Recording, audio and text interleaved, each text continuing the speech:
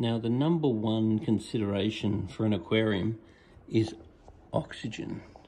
So, besides water, surface agitation is the most important thing. Now, what's going on in this aquarium is there's absolutely no surface agitation. And if there's absolutely no surface agitation, that will mean that the dissolved oxygen level will be low and the redox potential will be low. So the two things that are super important is that the outlets must be aimed up so it agitates the surface. So then the water coming out of the filter will be oxygenated because currently there's fish in the aquarium. It's making the oxygen go down.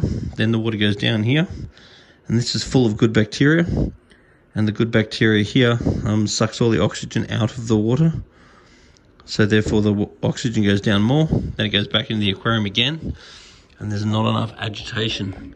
So just by turning those outlets up and adding an extra pump to agitate the surface as much as possible, then the oxygen level will go up. When the oxygen will go up, the redox will then go up, and then the bacteria can work efficiently at getting rid of ammonia and so forth. The other thing you really want to do is feed good quality foods. So the better quality your food, the better off you are. So for example, that one there, that's a very good food.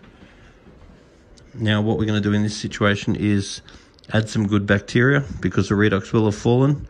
We're going to add prime daily or stress coat to detox any ammonia and nitrite.